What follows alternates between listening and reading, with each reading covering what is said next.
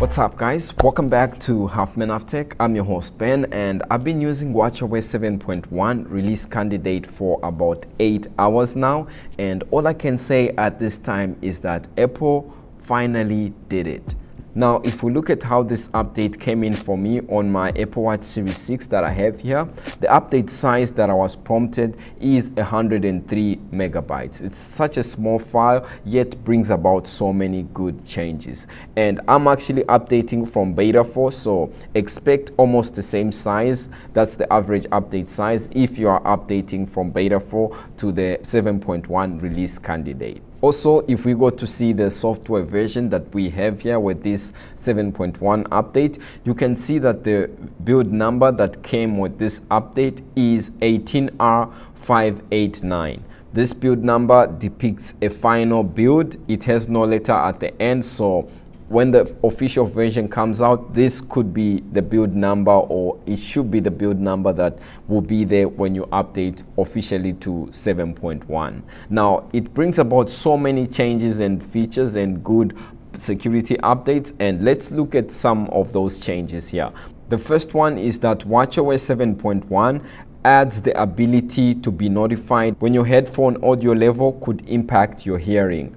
This is all thanks to iOS 14.2, the GM or the release candidate that added this feature. So on your iPhone, if you want to see this, if you go to your settings and then go to sound and haptics and then click where it says reduce loud noise, you'll get a notification from your watch if the noise level exceed that which you have set. Now, it is advised not to set a noise level that is above 90 dBs and by default, when you go to your iPhone setting, the level that it's set on is 85 dBs. So I would recommend if this is a feature you are going to be using, do not pass 85 decibels.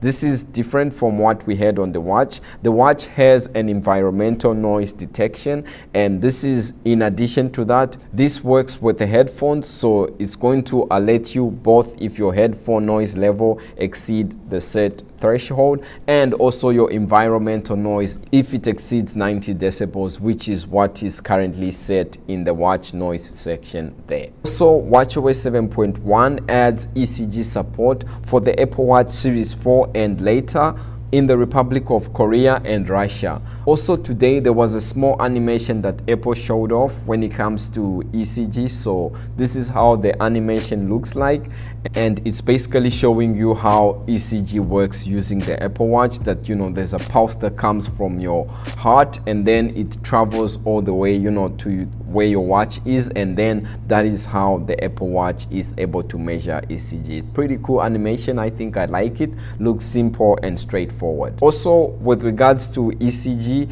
WatchOS 7.1 adds support for irregular heart rhythm notification in the Republic of Korea and Russia. So Russia and Republic of Korea, they're getting a lot when it comes to this update. So it's pretty cool to see that these regions have now been added to ECG support for the Apple Watch. Also, this update resolves an issue whereby certain users were not able to unlock their Macs using the Apple Watch, which is a cool feature. If you're wearing your watch, you can easily unlock your Mac. And with this 7.1, that feature is now up and running. Also, this update fixes an issue whereby for some users, Fortunately, I didn't experience this, but for some users, when you would raise your hand, your watch would continue to be darker and wouldn't light up. So 7.1 fixes that bug. Now, when it comes to some other WatchOS 7.1 features we've seen during the beta stages leading up to this update that we've heard, we've seen new emojis that were added with this update. Some have to do with new type of food and also some have to do with new type of faces.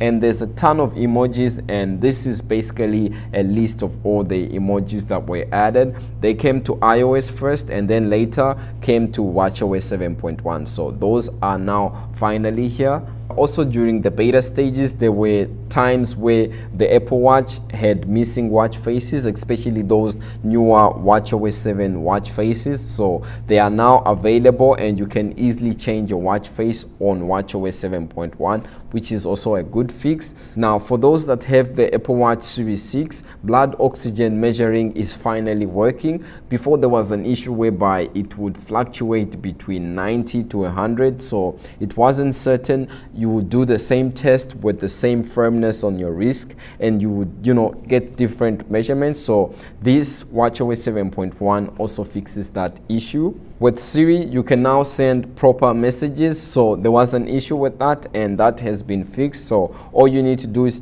just to activate Siri and then ask Siri to send a specific message to a recipient and that will now work with WatchOS 7.1 and also within the messages app if you are using it to send your location before there was an issue whereby it would crop the map section so that has also been fixed with this update. Also, just to add on, in the background of this WatchOS 7.1, there's a lot of stability improvements not mentioned. Apple just mentioned that there's a lot of stability improvements, a lot of bug fixes, and a lot of security improvements. So it's so far a good update. I've been using it for about eight hours and I'm loving the experience. Now, when it comes to some of the bugs that I've noticed so far, I noticed that after updating, my phone would still tell me that there's an update. So I had to go to the settings of my phone and after going to the update and trying to update the watch that has already been updated, that bug simply disappeared. Another bug that I noticed has to do with the time. There was a time whereby the watch was syncing behind the iPhone by like three minutes but upon raising my wrist like this I noticed that the time actually moved like fast forward to the current time so that bug happened once and uh, so far, I haven't heard it again, so it seems to be okay as of now. I will update you on Twitter if it comes back again. Another issue that I experienced a little bit has to do with after updating this watch, it went unresponsive for some seconds, for like 15 seconds. So I don't know if that was perhaps me trying to rush things or a bug, but this is something that you'd want to check out when it comes to this watch WatchOS 7.1 after you update. When it comes to battery, battery and performance for me so far on my Apple Watch Series 6. If we go to the battery section there, just to see how my watch has been performing. So if you go to the battery section, you can see that I have 91% and I've been using my watch for about eight hours since I upgraded and you can see that I've only managed to use like like 9% of my total percentage charge which is not too bad. And if we go to see the battery health you can see that my maximum health capacity is still on 100% so there is no change there. And when it comes to you know my battery usage you can see basically that around 12 p.m. that's when I updated and connected my watch to the charger and it charged all the way to 100 and you can see that it's you know it didn't drop drastically. It's dropping a little bit which is normal. Now when it comes to performance I really can't complain. I mean applications are working as they are supposed to. Watch faces I'm able to change watch faces like I'm supposed to. And I'm enjoying my experience so far with WatchOS 7.1 now whether you should update update or not, I believe that yes, if you are on WatchOS 7.1